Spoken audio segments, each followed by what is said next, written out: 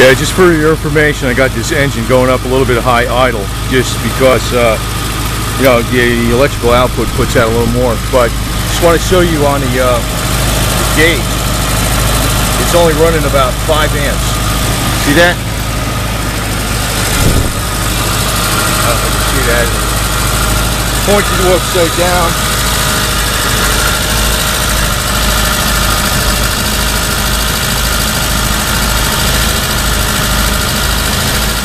It's running about 5 amps. Now look at the bubbles coming out of the bubbler.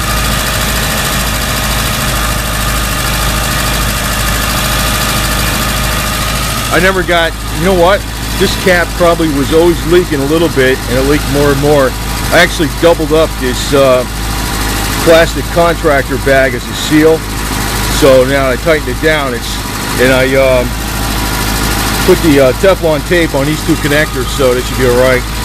Actually, what I'm going to do, when I'm going to get the Cosmoline, I'm going to go over this with Cosmoline in here. Even though I went over it with Chassis Saver, um, I'm going to get all in there with that the black Cosmoline, that stuff that's even paintable and weldable.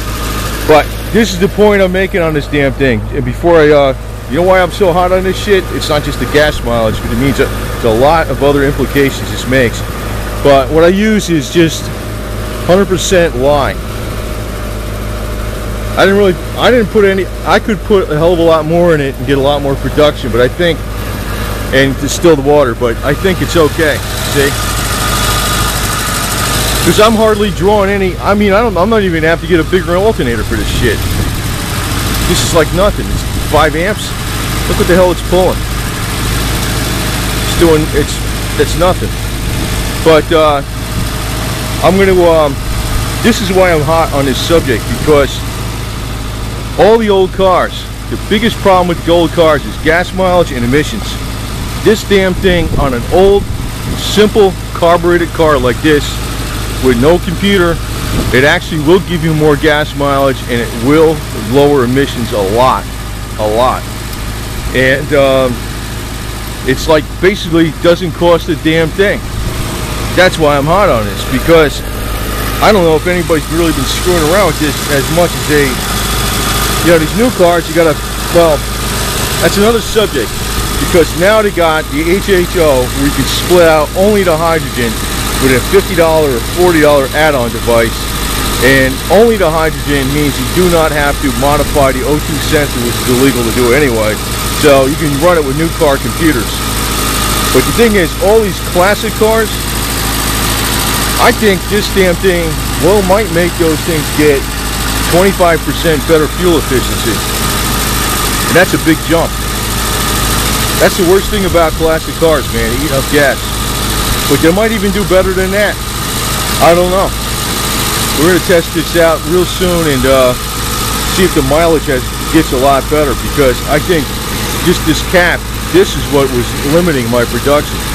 I'm not even going to put it up that high. I'm going to leave it at 5 amps. 5 amps, you ain't doing nothing to your charging system. Nothing. I mean, that's nothing. That's I mean your headlights are 12 amps.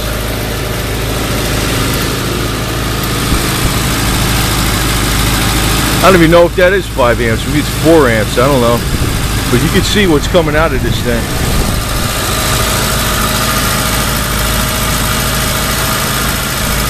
And you know how much this whole kit was? 165 bucks on eBay. All 316L stainless steel, quality built. I mean, I had to make the bracket that goes on the engine and stuff. I had to make the bracket for this. But all the relay, all the stuff was there. Because the only thing you gotta watch is this cap. Even though it's got like a rubber grommet in there or something, it's just not sealing right. That was a little problem. So this is gonna, this might kick ass. We'll see what happens on the next test. I'm telling you, man, a lot of people think this is snake oil. It is not snake oil, but it's not gonna run your car for free. But if you're getting, I don't know, on an old car, if you get a big unit, like this is a 16 plate, which is oversized for this engine, that's probably why it's got pretty good production too. Um, but when I put it on that 350 Chevy, I'm going to get the 21 plate and I'm going to see what the hell it does. I would love to get 20 miles to the gallon on the highway with that thing. I don't know about that, but if it does, guess what? just put new cars out of business.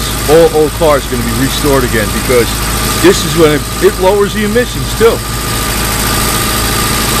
You think the big car company's going to do some shit like this? No, unless they make it complicated, put proprietary computer code in it, all that other stuff. I'll tell you, man, I think this shit is legit. And you know, it wasn't that many years ago, back in 2008, everybody was making these things with mason jars. I mean, now you can get laser cut 316L, professionally built, good gaskets, thick neoprene gaskets. Uh, you know, the uh, dry cells, with every, the whole kit, for less than you can freaking make the damn thing. I don't know. I don't know why people aren't doing this, man. I don't get it. And like I said, if you put an add-on device for about 40, 50 bucks, you don't even have to modify your computer on the new cars. I don't know. I know like some people don't like these automotive updates, but I know some people do. So, I'm telling you, man, I didn't realize something that simple. I probably wasn't getting full production the whole damn time. We'll see what happens. So I'm going to run it nice and light like that and see what kind of mileage I get.